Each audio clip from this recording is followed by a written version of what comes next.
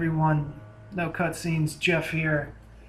Back with another Fallout 4 video, and today I have probably my favorite mod so far. It's the Manufacturing Extended mod. Now, what it does is it gives you just everything that, now thinking back on it, should have been included in the Contraptions DLC. So let's just go through uh, what you get, yeah. So as you have the builder, now you have recycler, which just breaks down junk. Anything that goes through it, say goes into its inventory, it'll break down into the base component of junk and then just send it out and you can have it sorted, you can have it go straight into another builder, or whatever. Now, we also have an auto butcher. This thing's fucking amazing. Any creatures or humans that you put in it, basically feed into it, you know, they'll be butchered.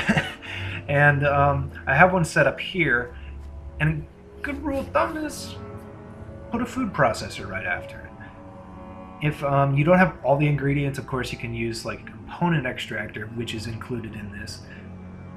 Basically, this is a vacuum hopper, but what it does is it will pull components from your inventory depending on what is in its inventory. It doesn't just pull everything. It'll only pull specific components. So you can get really, really specific with what you want to do, and it pulls them out four at a time. Now, I will warn you, it does cause some problems with jamming. It's just unfortunate. I hope there's a patch. Now, also we have faction auto loom, faction clothing, fist weapons, melee weapons. I mean, it gives you just a lot more. And power armor, like it's dope. You can do power armor frames, T45s, T60s, X-01s, whatever. It's really, really cool. So, also, now, robot disassembler. Pretty much it functions as the auto butcher, but for robots. I have one set up here, and I have, of course, some robots that I've been building and then just murdering. And we'll go ahead and we'll put them through. Um, it's really cool. It's kind of like a neat way if, say, you were in survival and you were really scrapped for resources and you got invaded or something at your settlement and you had a bunch of robots and you, just one of them died or even one of your settlers die you have an auto butcher. Bam you got some meat. You got some robotics parts too. I, i'm really looking forward to kind of just seeing what i can do with all this. I haven't been playing around much with it. This is actually probably my like you know third or fourth hour with it maybe. Yeah so it's uh not a lot yet but you will see it in the future that's for sure. Now also Vault-Tec, basic Vault-Tec, pretty much every vault, I think so. Yeah, and the auto distillery, Nuka Cola, alcohol, drinks, beverages, all stuff like that. So yeah, they include everything, or uh, he, them, she. I I don't know. It's uh. I do not know the name of the person who makes the mod. I will definitely link it in the description though. It's available on Nexus, of course, for PC, but it is now out for consoles as well, or for Xbox One. Sorry, PlayStation 4 people, but it's already ready for y'all when that stuff comes out.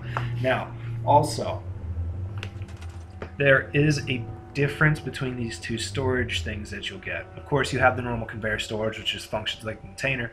Conveyor workshop storage stores everything that goes into it directly back into the workshop. So that's how you can kind of get like these infinite loops where you break down components, sort things out, to say like a builder or a loom that you want to build, those components go specifically there. Everything else that you've say broken down from a robot or just whatever goes back into your inventory and then it can be sorted down again if you say want to expand on that. Now, this one here, just to show you kind of what uh, what you can do with it, we'll just go ahead and run a little, little demonstration now.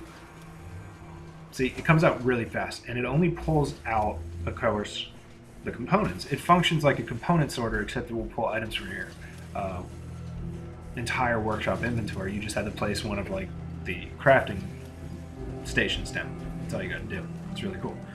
Um, yeah. And then this we got here. I just filled that container, used a vacuum hopper because I knew exactly specifically the ones you can do. You cannot use like any sort of aid, so no meat. Um, it, it's only components with these component extractors, and, and that's understandable because they do have the vacuum hopper, so you can do everything. So you, you're pretty much covered. But let's let's go ahead and show y'all the robot disassembler. It's just it's cool, you know. Like honestly, you could have gotten by without having this. Maybe like the auto butcher is good because you can of course do all the wasteland stuff, and you know you have the robots. But this is I, I love this shit. So it just disappears, and as you'll see, you'll know it's working when it just presses up and down. If it's just sending stuff through, it's not. So it, it's very telling of when it actually does it. Now I don't think this guy fits through if we put his head first. You just have to turn him around. But as you can see, just before it was asbestos, now you got a power relay coil you have circuitry, copper, aluminum, steel, and a couple fuses. So, what does that mean? Basically, whenever the asbestos goes through completely, all the rest of that stuff will go through. The power relay coil will be broken down by the recycler, so that's why you have the recycler after a robotics disassembler. And uh, the fuse will be broken down as well. But other than that, the components will just spread, pass through, yeah. And um, but as you can see, the other robot went through fine. He ended up making more fuses and shit, so yeah. And what I set up here was just a switch because I wanted to make it kind of half whatever materials go in uh, will go to each uh, builder, essentially. And it kind of worked out, kind of didn't. But I knew I had so many materials, or so many components, like literally tens of thousands of each of them, that I could just run this for hours and it would eventually um, get the components of each of those builders for what they, you know, needed to build. So, yeah, I knew I could do that. Oh man, ever since fucking mods, I've just been going crazy. I love it. So, I'll show you here at the Auto Butcher. Spawn some human. Go to cheat menu, take them out. Sorry, buddy. It's for science. Now it's weird. It says like sometimes you know, of course, you can't move the body; it's too heavy, and then you just take the clothes away. Like I, I don't get it. Can you not lift literally like four more pounds? But whatever. It functions the same way as the robot dissembler. It'll take them in, pump up and down. Know that it's working. About five seconds later, you're uh, you're gonna see some human parts. You know. So there you go. You got human meat. You got all the bones and shit. And you can, of course, you know, just take it out and use it as like junk. You can put it, you can put a recycler afterwards so it goes down to bone and just breaks it down. Yeah, it, there's a lot you can do with it. Yeah. Let's take a look at components that you'll need to build some of these things now. It can get pretty complex for power armor, especially once you get to the better ones like the X-01, but for T-51, which has all the fucking awesome paint jobs, pretty easy. So yeah, there was that one. But now essentially, you'll see some of the things actually being made. We have one of the Vault-Tec security armor. With the mods I have, you can wear pretty much anything. So yeah, it just fits underneath. Pretty cool. And um, we got this making cram now. Uh, yeah, I love this shit. And as you'll see, Vault-Tec stuff, security armor, right in the inventory because down below we had that uh, workshop container, just basically you know dumping everything back into the workshop. So it works really well.